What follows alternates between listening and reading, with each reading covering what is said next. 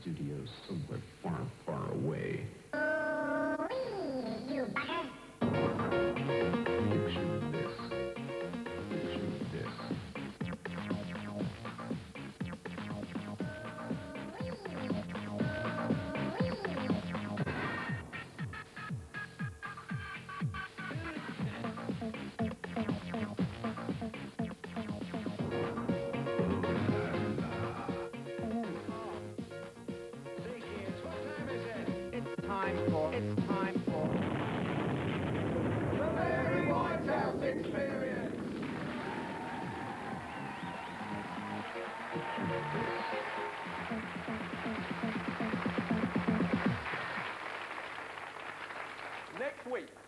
People will suffer the annual humiliation that is St. Valentine's Day. Now, here is a standard Valentine, but the author has made one classic mistake. See if you can spot it. Dear Helen, I love you. Yours sincerely, Rob Newman, flat 19, 19 Polygot Lane, London W87PJ. Daytime tell, 589. Your ref, Now, tradition demands that the Valentine sender should remain anonymous or almost anonymous. Your identity should be tantalizingly shrouded in mystery. Dear Helen, I love you. Yours sincerely, Nob Ruman. flat 19, 19 Polygot London W87PJ. Yes, yes, yes. Although, on the other hand, you shouldn't get too cryptic. Dear Helen, I love you. Yours sincerely, Flange of Baboons in Mining Country, perhaps, 3-6. One way of smoothly suggesting that it was you is to casually drop in one of the lines that was written on the Valentine card when you next meet on some veranda three months later. Although one has to be careful about which line. You know, Helen, this summer night may be many things, but it isn't sold in aid of the Notting Hill Housing Trust. All right. Still, it could have been worse. You know, Helen, this summer night may be many things, but it isn't Rob Newman, flat 19. It is also imperative to post your Valentine card from a different postal area than your own. I'm standing here in Baghdad. There aren't any bloody post boxes left.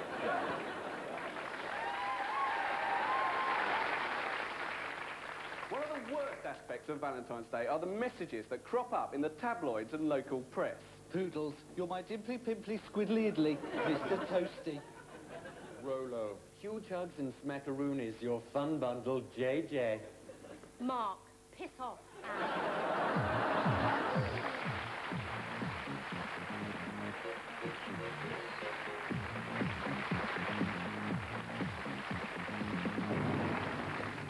If you look at the top 10 best-selling books in Britain, the chances are that most of them are diet books. There's The Hip and Thigh Diet, Trim That Waist, Kiss Your Ass Goodbye, and the latest bestseller, How to Get £3.99 Out of a Gullible Gut Bucket. The culture of vanity has reached its apex in the United States. Americans spend a fortune on facelifts to look younger, and if you're rich enough, you can qualify for your free bus pass and still find it hard to get served in a bar. Often in cosmetic surgery, they have to graft skin from other parts of the body, so the average middle-aged American in the shower looks like a slice of Battenberg cake. Mind you, people are still unwilling to admit to it. Michael Jackson still denies he's had plastic surgery, despite the fact that if you compare these two photos, you do tend to notice that he started off looking like a black American and now looks like a Gerry Anderson puppet that's been left too near a radiator. We come now to grey hair. Most men are so vain that when they find a grey hair, they pull it out, sometimes with appalling consequences.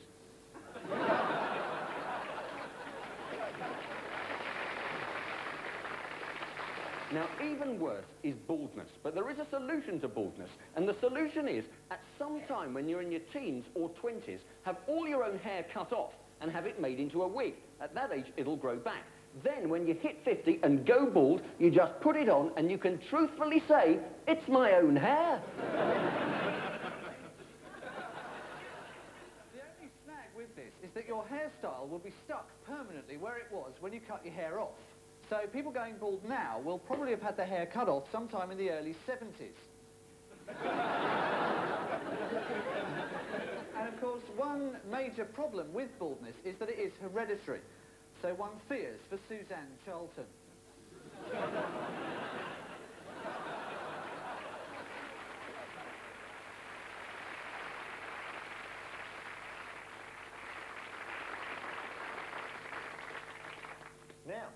Stoppers is looking for a dangerous criminal wanted in connection with a series of very violent crimes. The man in his late 20s has a moustache and very long hair.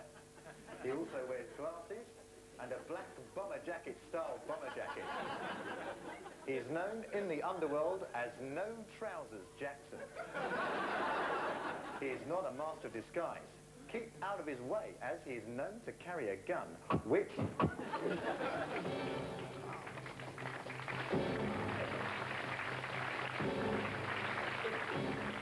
you have any information about this crime, you could win a community action trust.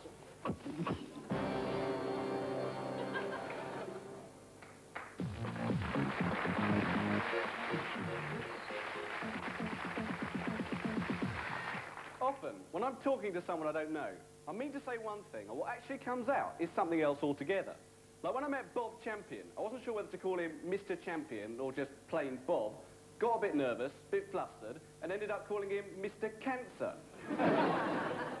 Conversation with someone you don't know very well is very difficult, particularly ending one. Well, of course, it's built for the car, isn't it? You know, we only have a single garage, unfortunately, but there are houses in Hitchin with double garages. Oh, yes, absolutely. I mean, many times we thought of extending, but in fact we decided to have some stone instead. You know, all local stone looks marvellous, you know, reds and greys and greens, but you want to try and keep up the Hitchin, don't you? Yes. Well, of course, it used to be a very historic town, you know. It used to be a... Hitchinus, I think it was called in those days. And we still have a legacy from some of those periods. Marvellous market on Wednesday afternoons. You can get quite a few pence off supermarkets. Another problem is that in these conversations, you become hyper aware of your facial expression while you're listening. And this becomes particularly difficult as you have to keep changing expression to maintain the pretense of interest. Well, it was a wife's sister, actually. She said, why not move from Hitchin? You know, it's not what it was. I said, move from Hitchin? I the very thought of it. I just couldn't envisage that happening, really. No, anywhere else feels like a draw to me. We did once take a caravan holiday down to Hatfield. Quite where you are in that particular part. It's a terrible business, really. I uh, lost the wheel in North Midlands. I feel terrible. Interestingly, it's a historical fact that despite everything else, the Elephant Man, John Merrick, had a set of perfectly formed genitals. Unfortunately, they were on his head. Then, there are those people who insist on saying what they think others are about to say before they've said it. Hello, Timmy. How's things? Fine, thanks, Johnny. this is a lovely bit of lettuce. Yum, yum, yum. I think the reason that people do this is because they have a neurotic fear of what might otherwise be said. Hello, Timmy. How's things? Fine, thanks. You're a bit sad now that all you do is voiceovers for Winalot adverts.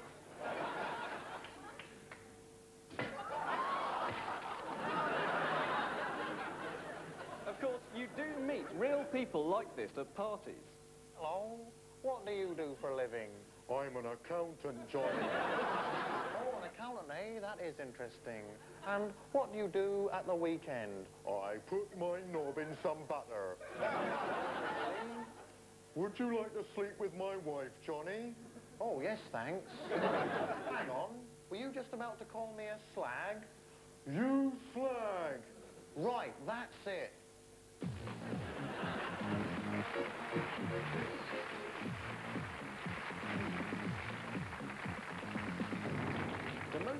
Important thing about exams is to find out when they are, as this enables you to work out which of your friends have exams that finish after yours do, so you can invite them to parties that they can't go to because they're still revising.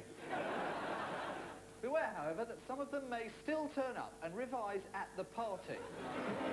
There is no worse party pooper than the bloke who turns up and tries to get everyone to dance to his linguaphone conversational German tape.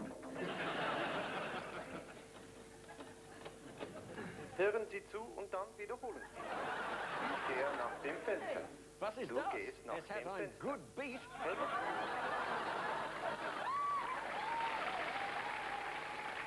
Do not be swayed by the great myths about exams. Everyone has heard the apocryphal stories. Yeah, it was absolutely amazing. It was absolutely incredible because he went in, right, and the question was, is this a question? Yeah, right? And he wrote, if this is an answer. You know, the incredible thing is that he failed completely. Well, that's incredible, yeah, because I had this friend, right, who took a three and a half hour paper, and all he did was he went in and he just wrote his name at the top of the paper, and he walked out. Oh, yeah, and the incredible thing was that he got the highest mark ever recorded at Sandhurst. Now, now, in an exam situation, it's essential that you plan your time. If you do this properly, a three-hour paper should go like this. 9 a.m. Into exam room, turn over paper. Realise you are in the wrong room. 9.05, arrive in correct room. Complete silence. 9.06, you realise you've got to spend the next three hours next to the person with chronic bronchitis. so sorry. 9.07, turn over paper and read through instructions. Answer at least one question from sections A and C, and either two questions from section B, or one question from section D, and three questions from part two of section B. Do not answer two questions from part one of section A if you have also answered any one or more questions of sections 5 to 12 in section D. Sections Q and P are optional for candidates who have answered questions 4 to 7, but not if you have only answered one part of questions J to K or part 14 of section 2. Stop writing now, please! 9.30, give up trying to understand instructions, decide on first question to answer. 9.35, look around room and panic that everyone else has written more than you. 9.40, start planning first essay. 9.41, start writing first essay. 9.45, someone farts and everybody starts giggling. 10 o'clock, 200 digital watches make horrid beeping noises. 10.05, the hardest person in the class walks out early. 10.06, the hardest person in the class is pushed back in again by his mum. Twisting the question. This involves turning a question on something you haven't revised into something you have revised. For example, with the question, write a character study of Hamlet which shows his indecision, examiners are used to receiving answers like this. In order to fully explore the character and indecision of Hamlet, it is first necessary to consider that had Hamlet been Scottish, his situation would have been very similar to that of Macbeth. Sheer genius. Of course, once your exams are over, there are only two things left to do. The first is to go around saying to all your friends, Oh God, I've just done really badly, but you know, I didn't do any work. and the next thing is to go through the paper with your friends, only to discover, Oh God, I have done really badly. oh, I did loads of work as well.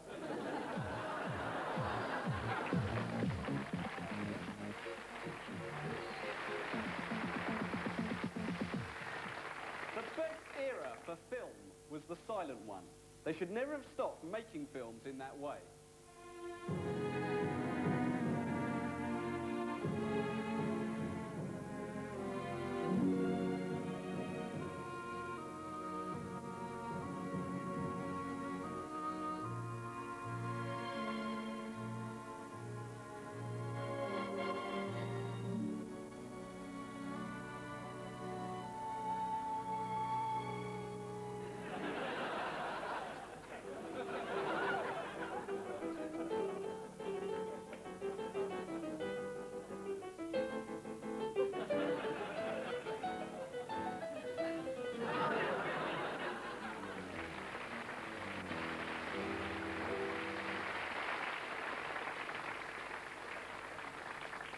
Porn films are made in German or Dutch in 1973 and are then dubbed by very bad non-equity members going, hey, you're a tasty chick, or say, this is an office lunch break with a difference.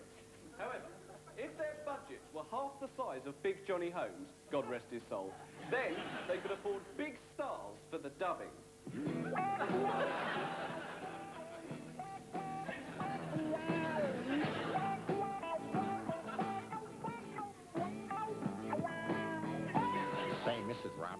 This is an office lunch break with a difference.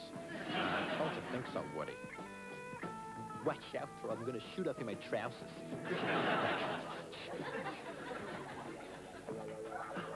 and it's hello from me. Hey, sexy lady, how about I help you out down there? I don't half love your tits, baby. Oh, do you, Johnny? There is, of course, one other great film style of the past that should have been hung on to. Uh, Qantas never crashed. Qu- Qantas never crashed. Definitely, definitely never crashed. Yeah. Mr. Babbitt, Yeah. you've never Uh, met tell your brother, but, uh... Well, tell him yourself, Raymond. Oh, tell me yourself, Raymond. Yeah, definitely, definitely tell him yourself. Don't you know I'm autistic, be realistic, but I got a good head for statistics. His best friend is an oven mitt. Turn on the shower and I'll have a fit.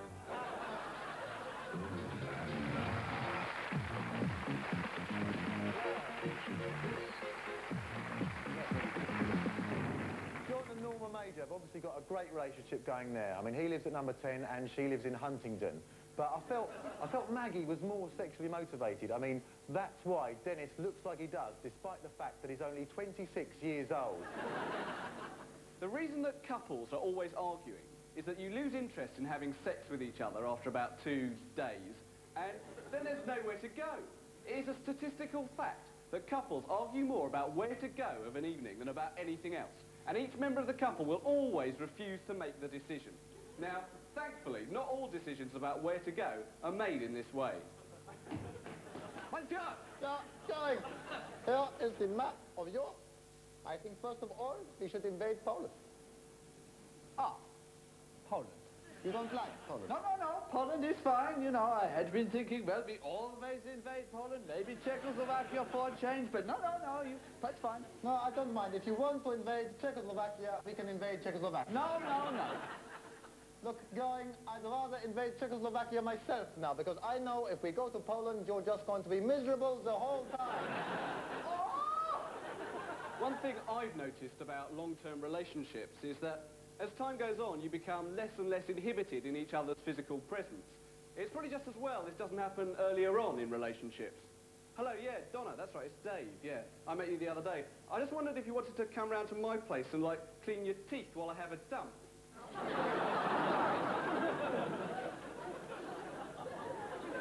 All right, you're already going round to Steve's to fart under the duvet. Yeah, I, I recently just split up with my girlfriend and I still don't understand what it's all about. Because I asked her why and she said, you are completely immature, period. And I said, period.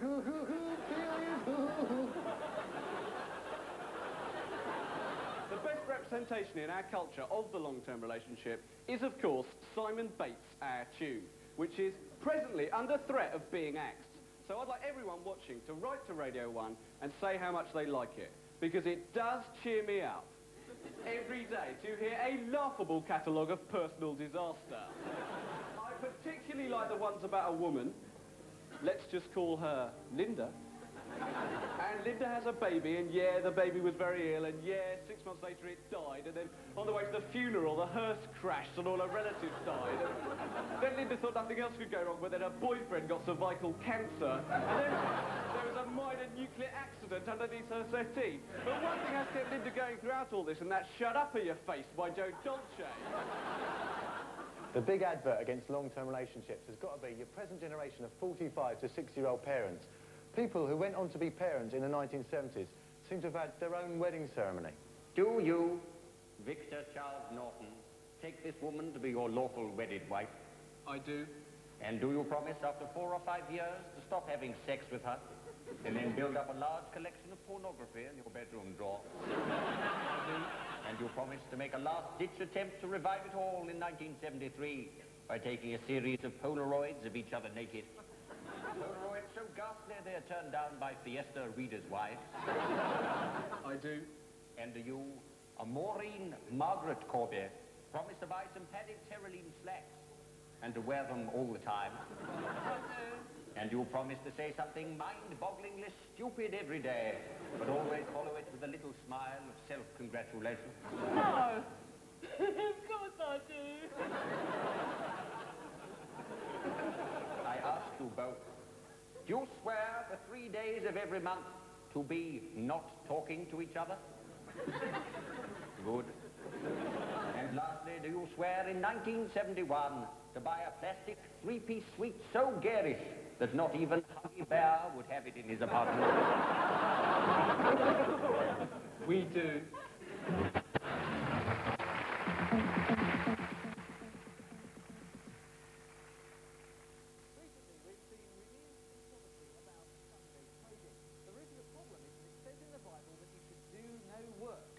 Sunday. So if we keep disobeying this rule, is some terrible punishment going to be sent upon us? And it came to pass that he looked down upon the world he had created, and he saw that, lo, on the Sabbath there was much mowing of lawns, and much purchasing of barbecue equipment from Texas Home Care. But Noah did no work upon the Sabbath, for lo, he watched the EastEnders omnibus, and fell asleep even until Antiques Roadshow. And the Lord spoke to him, saying, Noah! I command you to build an ark of oak and cedar wood. And Noah replied, saying, Crikey, I'll have to nip down to Texas Home Care and buy a new hammer. Later on in the show, we'll be asking, was Jesus really a carpenter?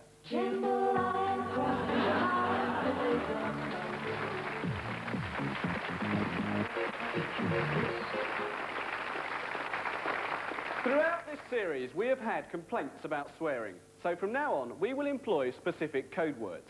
So when we say chuff or chuffing, we mean the F word. And for the C word, we will use the phrase Henry Kelly. Although this may lead to some confusion in, for example, the sentence, Henry Kelly, what a Henry Kelly? course, normally, swearing is covered in broadcasting by the beep. But I think eventually this just begs the question, you know, what is Roadrunner actually saying? there is, however, the word that is worse than any of these. All right, hi, I'm Terry Christian. All right, great. Stop a nonsense, stop a nonsense. Bollocks, stop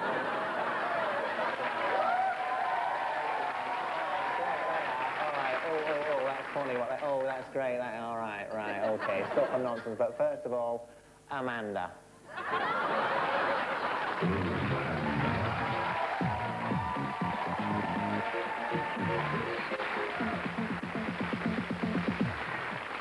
There are a number of things about the Gulf War that have been left unsaid. First of all, the Allies are employing carpet bombing. So that's Allied carpet bombing. Hundreds of Iraqi missile sites must go.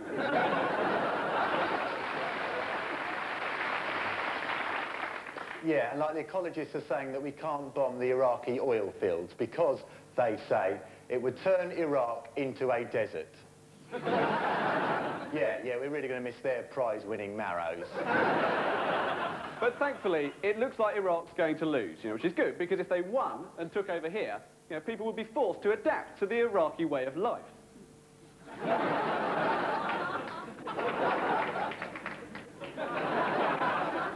Another thing is that in Iraq, everyone has their surname first. So Saddam is actually Hussein Saddam's surname. So if they won, we'd have Davies Dickie, Do Scooby, and Large Eddie and Little Sid. I remember shortly after the uh, war broke out, the BBC took Neighbours off the air, and I think this is because the acting in Neighbours is so bad, it looks as though the entire cast has been captured by the Iraqis and made to say those lines.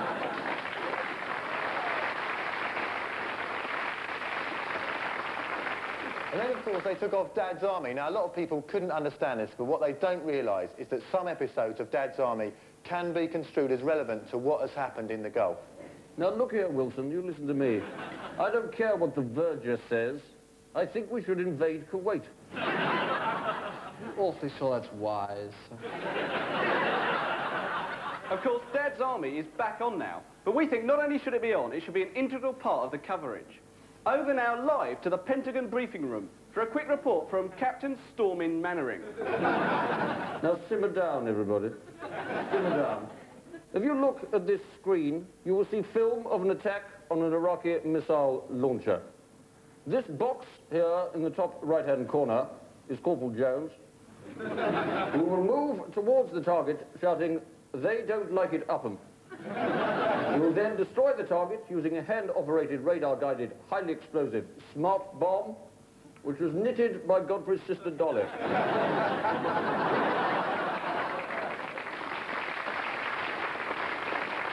However, the Dad's Army decision is still under attack from some MPs for spreading alarm and despondency. Hello, well on tonight's Newsnight we are joined by George Harvey, Professor of Strategic Studies at Sheffield University, Mr Andrew Sharrock, founder and so far sole member of Sun Journalists for Disarmament, and Private Fraser. The refinery is leaking, leaking, oil spilling everywhere. Hundreds of cormorants doomed. Well, thank you, Mr Sharrock. Now, what do you think, Private Fraser?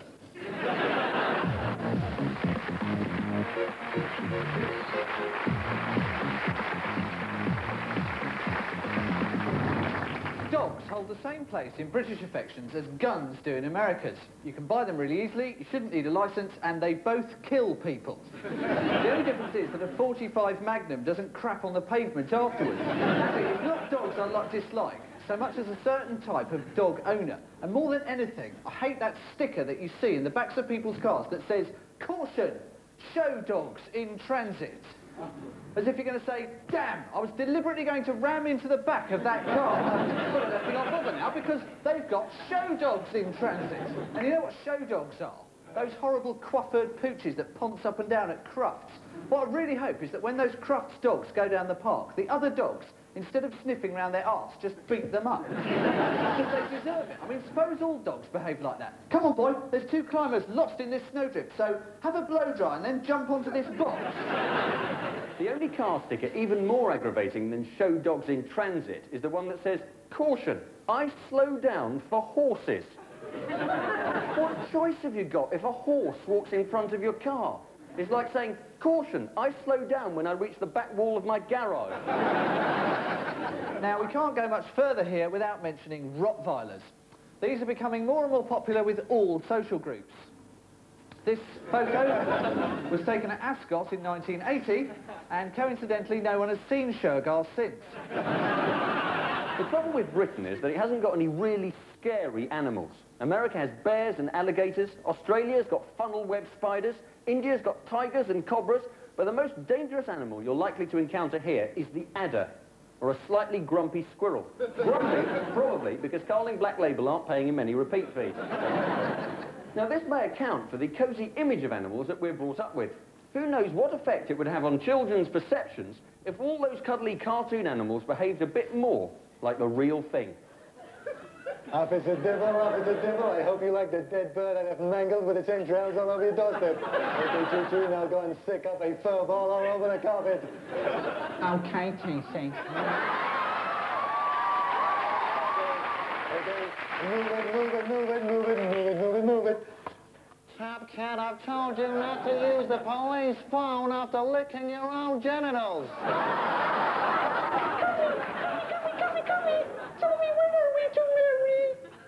Uh, I can't marry you, Miss Piggy. Uh, you see, I fertilize externally, and, uh, well, I, I just dribble all over your back.